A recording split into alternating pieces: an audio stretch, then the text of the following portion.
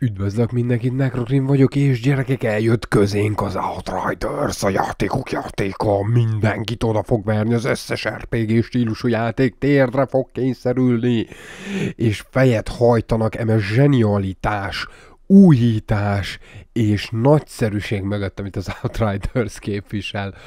A Nope, nem. Na most beszélgetni fogunk a demóról. Fontos, hogy megjegyezzük, ez egy demo, nem beta, Értitek, ez egy demo. Na most a demo és a beta között az a különbség, hogy a demo elméletileg a már kész játék egy darabkája. És akkor most ugye elvárnátok tőlem, hogy beszéljek arról, hogy milyen hibái vannak ennek a demónak, és bugok és a többi, de hogy őszinte legyek, öm, én nem igazán találtam. Pontosítok rajta, mindjárt, mindjárt pontosítok rajta. Az egyetlen dolog, ami hibaként véltem felfedezni, az a hatalmas FPS ugrálás, hogy itt, itt ott nagyon-nagyon meg tud ugrani az FPS való 100 és 60, 30, stb. ezek között össze-vissza ugrál. Azt elmondhatom, hogy egy 1080-ason és egy 2060-ason 2060 max grafikán fut. Um, két K-ban gond nélkül. Ezt, ezt ennyit el tudok mondani, de az FPS jobbra-balra fog tudni ugrálni, szóval úgy gondolom, hogy erre számítani fogunk, hogyha a teljes játék jön, akkor is. Nem hiszem, hogy ezzel egyhamar fognak valamit csinálni. Na most, ami a bugokat, glitcheket illeti, hogyha mondjuk egy bétában van egy, egy ilyen demóban, a játék tud annyi szórakozást, illetve figyelem elterelést nyújtani, tehát maga a gameplay, ha jó, akkor az ember nem igazán veszi észre ezeket a játék bugokat. Biztos ott voltak, de számomra nem igazán tűntek fel. Na, és ezt rögtön itt az elején szerettem volna nektek elmondani, hogy lehet, hogy voltak glitchek, lehet, hogy voltak demók, hallottam olyat, uh, bocsánat, glitchek és bugok, hallottam olyat, hogy, hogy volt, akinek lefogyott a játék, és restartolni kellett a teljes gépet. Nekem ilyen nem volt. Két rendszeren teszteltem, az egyik egy full AMD-s gép, a másik egy full Intel-es gép, hogyha így tetszik, hasonszőrű, um, hogy mondjam, beállítások a hasonszörű hardware-rel. Az egyikben egy 1080-as volt, másikban egy 2060-as volt, és egyik egyiknél se fagyott le, egyiknél se volt semmi nagyon probléma, és ezt, és ezt leszeretném szögezni, mert hogy fontosabb dolgokról kell beszéljünk. Világ megváltó-e az Outriders? Milyen szemszögből szeretnénk nézni? Ha egy ilyen amúgy is veterán gamer vagy, és már megéltél egy jó pár játékot, akkor azt fogom, látni fogod, hogy ho- hova megy az Outriders. Az Outriders kipipál a, a checklistán pontokat, értitek? Lássuk csak, mi van benne. XP fejlődésrendszer? Van. Skillek? Vannak. Skillpontok? Vannak. Uh, többfajta skill van. Loot van. Loot statisztika? Van. Lootok különleges képességek? Van. Pályák? Vannak vannak.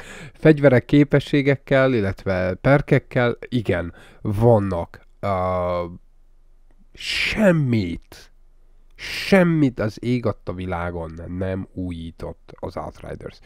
Olyan biztonságos, kikövezett úton haladtak végig ezzel a demóval, de a játékkal is ordít róla amúgy, szóval ezen a téren olyan biztonságos, kikövezett úton haladtak végig, amilyet még nem láttatok. Tehát minden, és emiatt a játék korrekt. Emiatt. De az RPG stílus um, veteránjainak ez kurvunalmas lesz, szóval ugy, ugyanis semmi, semmi újítás nincs. Semmi az ég a kurva világon újítás nincs. Na most, hogyha tegyük fel, te most ismerkedsz a, az RPG stílussal, az Outriders egy tökéletes kezdés, nem túl nehéz, uh, úgy értem loot és skillek megértése terén, hogy az ember így hozzászokjon ehhez a stílushoz, egy könnyed uh, szórakozás és egy könnyed bevezetés az RPG stílusba, és emiatt lesz jó és izgalmas azoknak, akik esetleg ritkábban játszanak játszanak RPG stílusú játékokkal. Az Outriders az, az egy jó bevezetés. És ebből adódik a kérdés, hogy meg akarod-e venni az Outriders-t? veterán gamer, aki már megélte az anyja kínja játékokat, RPG stílusú játékokat, neked keveset fog adni az Outriders, úgy gondolom, ha csak nem egy jó történetre vágysz, neked keveset fog adni az Outriders, vedd meg, de olcsón, mikor tényleg le van olcsozva. Új gamerek, akik csak kóstolgatják az életüket az RPG játék stílusában, ja, ja, szerintem simán megéri akkor az árát, és egy jó szórakozás fog nyújtani. És íme egy újabb pozitívum, amit ennek a játék javára fogok uh, írni, ez a játék nem live service. Szóval minden, ami benne van most, az úgy benne van full ingyen, később nem fognak jönni ilyen skinek és anyámkinnyek, amik valódi pénz, pénzért um, lehetőséged van majd megvásárolni. Ez a játék lesz, lesznek benne pályák, azoknak a pályáknak lesznek különböző szintjei, azt hiszem 15-ig mennek föl, majd lesz egy bónuszpálya, nehézség, loot, minden ezzel együtt fejlődik fel. És ennyi, szóval egy olyan játék, amit a kezedbe veszel, single player kampány állítólag egy 30-40 óra, és utána Isten se tudja, hogy mennyi játék lesz még benne, de a lényeg az, kezedbe veszed, kimaxolod, leteszed, kimaxolod az összes karaktert, lesz ez, ki tudja, lehet, lesz benne egy 600 ezer órányi játék, most mondtam valamit, és onnantól kezdve nyugodtan visszamehetsz ahhoz a játékhoz, amivel ezelőtt játszottál. És ez nekem valamiért ez így tetszik, ez korrekt. Tudjátok miért? Mert jó ez az Outriders, jó, jó, jó, de nem hiszem, hogy van benne annyi potencia, hogy ezt hosszú távú éveken keresztül, keresztül mint egy live service game fent lehessen tartani annyira már nem izgalmas a gameplay, annyira nem izgalmasak a pályák, és annyira nem izgalmas a loot sem, hogy, hogy, ez, hogy ez szignifikáns változtatás nélkül évekig fenn lehessen tartani. Milyen hangulatot gerjeszt számomra ez az Outrider teljes mértékben Gears of War, szóval a People Can Fly csinálja ezt a játékot, ők csinálták a Gears of War-t is, úgyhogy nagyon-nagyon benne van ez, ez, a, ez a stílus, nagyon benne van ez a Gears of War stílus, imádom a Gears of War-t, simán eljátszanék egy Gears of War RPG-szerű játékkal, és az Outriders teljes mértékben hozza ezt. Nem feltétlenül vagyok oda mondjuk a Gears of War multiplayerért, mert szerintem semmi olyan über izgalmas nincs abban a multiplayerben, de egy jó kópot, Gears of War-t is, mikor játszottam a haverommal, Gomi, uh, Gomival simán végigvittük ketten, tökre élveztem az egészet. Na, és az Outriders hozza ezt a feelinget, csak megspékelték azzal, hogy a karakterednek uh, képességei vannak, és itt térnék rá a 30 másodperces game játék uh, loopra, játék körforgása erre a 30 másodperc, tehát magára a letisztult core gameplayre, hogy mennyire izgalmas vagy sem.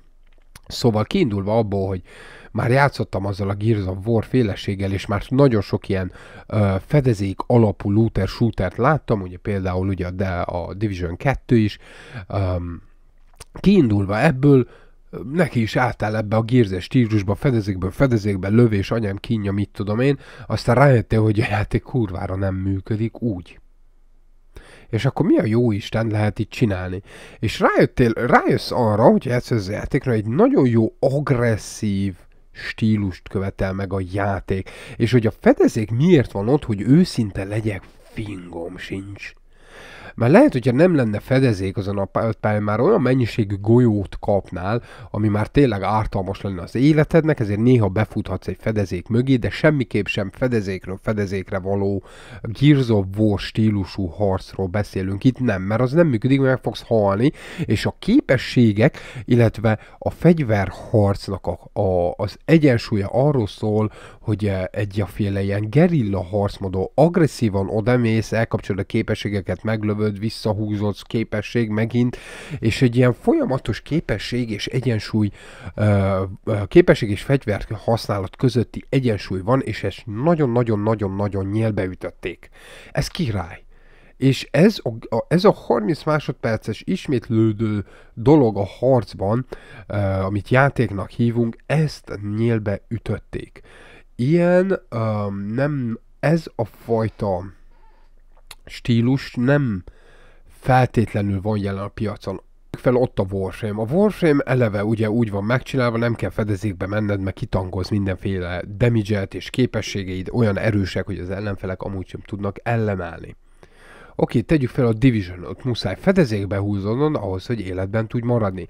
Ott volt az Anthem. Az Anthem volt talán az egyetlen olyan, ugye, amivel agresszívan lehetett nyomulni, lőni és bla bla bla, de azért, mert az enemik életet és lőszer dobtak el mindig, amikor meghaltak, tehát az életedet tudtad tölteni, és ilyen szerű is, ugye, az Outriders a fegyvereidből, képességedből folyamatosan nyersz vissza életet, ezért az, hogy fedezékbe húzod, egyelőre legalábbis ezen a de, ebben a demóban a fedezékbe húzódás nem igazán vált be, mint játékmód, hanem tényleg egy előre menő, nyomuló, ö, agresszív játékstílust kellett folytatni, és ez nekem bejött. Ha csapatra került a sor, Gomi cicával játszottam, ö, hogy őszinte legyek, annyira nem láttam taktikázásnak egyelőre értelmért, mert az ötös világszinten ketten együtt annyira erősek voltunk, hogy minden mit lőttünk, az elpusztult, de minden bizonyal egy adott ponton lehet, hogy lesz némi csapatjáték a játékban, de az is lehet, hogy egy csapaton belül mindenki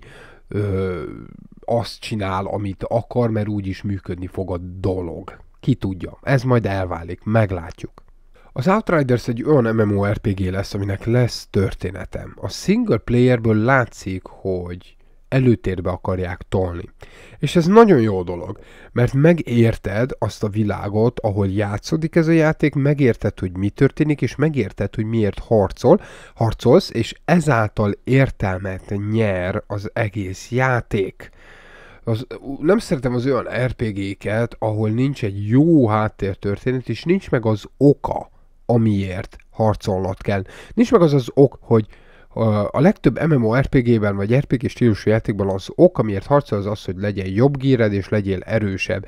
De itt nem. Itt egy bolygó, egy név felszabadításáért harcol gyakorlatilag, vagy éppen a bolygó honosításért, és, és a több remélem ezzel nem lőttem le semmi, semmi spoilert. Um, ez, és, és ugye ezért harcolsz a népért, a felszólításért, hogy béke legyen, bla bla bla, cél és oka van annak, amit a történet biztosít, és ez sokkal élvezetesebb és jobbá teszik a gra- grindot, mert a grind nem csak arról fog szólni, hogy te erősebb és jobb legyen, hanem arról is szól, hogy esetleg egy célod van azzal elfoglalni területet, kitisztítani azt a területet, és a többi, ha a single playerre kerül a sor. Néztem Skillupnak az értékelőjét erről a játékról, és mondott benne egy, egy igazságot. És azt mondta, hogy a legtöbb RPG stílusú játékban, hogyha kijátszottad a single player-t, akkor kezdődik el valójában a fejlődés. Mert hogy a single player alatt annyira könnyű a játék gyakorlatilag, hogy a loot, ami a kezedben van, már hogy nem, nem számít. És ez nem igaz az Outriders. Az első pillanattól olyan lootot kapsz, amivel taktikálsz, az forgathatsz, és átalakíthatod a játékstílus, játékstílus az annyira nem alakíthatod át, de átalakíthatod a taktikádat, esetleg más képességeket kell meggondolni az adott loothoz, és ez az első pillanattól van. Tehát, hogyha te csak a single playerrel fogsz játszani, már akkor is értelme van lecserélgetni a ruhákat, és felkészülni az adott következő pályára, mert, mert a játék dob olyan lootot, aminek lényege van, hogyha így tetszik, és nem ezt a, azt az olcsó lootot dobja el, ami csak arra való, hogy kijelzd a single player-t, és akkor, hogyha kijátszott a single player-t, utána jönne az igazi fejlődés, mint például mondhatnám a Destiny, Destiny is ilyen. Ugye nem abba a zöld cuccokba mászkálsz, amíg el nem érsz a játék vége fel, és megkapod az első lila cuccokat. Uh, ja, úgyhogy az átrezőzben ilyen nincs. Megkapod, már az elején kapsz zöld-kék cuccokat, és a kék cuccoknak már kezdenek, már kezdenek perkéi lenni, képességei lenni, amivel, amit összekombinálhatsz a a képességeiddel, és érdemes rá figyelni, és ez egy jó dolog, mert akit nem érdekel a kóp, a további része ennek a játéknak, amit nyújtani tud a single player után, az is érezheti úgy, hogy, hogy a játék adott neki netán elég változást ahhoz, hogy haladjon bele, és ez már a demóból kiderül, és ez egy jó dolog. És ami még kiderült a demóból, hogy én végig akarom játszani ezt a single player-t, mert kezdett érdekelni a történet. A karakterek, akiket eddig megismertem, egy e, potenciával rendelkező történetet, illetve karakter egyéniséget vázoltak fel. El se hiszem, hogy több időt sikerült beszélnem egy demóról, mint amennyibe időbe telt kijátszani. Na jó van, gyerekek, április másodikán jelenik meg az a játék, és azt mondom, hogy most, hogy pangani fog a piac hamarosan a játékok terén, jó, mondjuk 2021-ben a játékpiac sosem pang, de hogyha ilyen A kategóriás pangásra fog most sor kerülni hamarosan, az Outriders egy nagyon jó és egy kellemes átvezető lesz, lehetséges, hogy lesz a nyáron egészen az ünnepekig, amik ugye kijönnek az új játékok, addig pedig szerintem egy nagyon kellemes szórakozás fog tartani. Nem fogja kihelyettesíteni a kedvenc RPG stílusú játékodat, hogyha Warframe 1000 nem fogja kihelyettesíteni, de nagyon jól fogja helyettesíteni arra az időszakra, ha Black Desert ezzel, ha Division ezzel, ha ezek a kedvenceid, amivel órákat és órákat játszol, egyiket sem fogja kihelyettesíteni, de mondom, nagyon-nagyon jól arra az időszakra, amíg úgy érzed, hogy unod, a, unod a kedvenc RPG-det, arra az időszakra az Outriders egy kellemes kikapcsolódást fog nyújtani. És, és nem az lesz, hogy lemaradsz dolgokról, mert hogy nem jelentkeztél be, nem az lesz, hogy lemaradsz a shop itemekről, mert hogy nem vetted meg, mert hogy nem lehet kifarmolni, ilyen ebben a játékban nem lesz. Semmiről nem fogsz megmaradni, mindent meg fogsz kapni. Persze ki tudja, hogy majd később mit fognak vele tervezni, de egyelőre így néz ki, hogy ez a játék tiszta marad mindenféle bullshit-től, és ez nagyon is értékelendő. Srácok, nagyon-nagyon-nagyon köszönöm a figyelmet. Maradjatok a csatornámon, iratkozz fel, csengőjeleske, fogok még az Outridersről videót csinálni, történetéről mindenképp, meglátjuk, hogy hogy tart a játék, stb. Ha érdekel titeket, akkor természetesen egy-két guide-ot is, fene se tudja, majd meglátjuk, hogy ismerem én is ki a játékot, de egyelőre szimpatikus. Semmi nagyon őrületes, szívmegdobbantó, ö, játék, mondom, kipipálja azokat a listákat, kipipálja azt a listát, annyira kibiztoságos kövezeten halad a játék, hogy, hogy nem, nem lehet mellé nyúlni ezzel a recepttel. Értitek, olyan, mint a csirkesütés, nem lehet elbaszni. Na, jó van, ennyi lett volna. Nagyon köszönöm a figyelmet, sziasztok!